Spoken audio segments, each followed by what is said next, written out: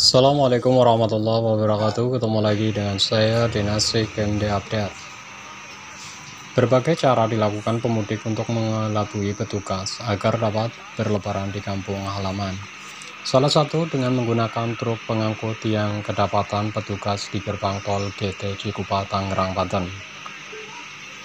Terlihat dari video yang diunggah akun Twitter TNC Polda Metro Jaya sebuah truk pengangkut motor diamankan petugas operasi Ketupat Jaya 2021 0024 Polri Ditlantas PMC melakukan pengamanan mobil pengangkut motor baru yang membawa penumpang mudik di GT Cikupa cuit akun Twitter TMC Polda Metro.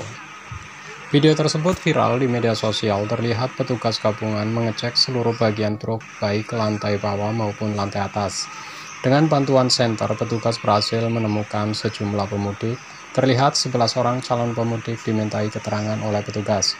Adapun nomor polisi kendaraan truk tersebut ialah B9121UYZ. Mari sama-sama kita patuhi anjuran pemerintah untuk tidak mudik terangnya. Hingga saat ini, video yang diunggah tersebut telah ditonton 10.000 kali dilihat netizen Aksi tersebut mendapat beragam komentar dari netizen. Nggak gini caranya, aturan nyamar aja jadi WN Cina biar aman dikasih lewat tweet akun Twitter di Ikhlas Maria. Kasian yang ngumpet-ngumpet buat mudik aja susah. WNA bebas masuk, WN India positif COVID lolos, cuma segitu aja kemampuannya. Celetuk akun Twitter Ari Pambon.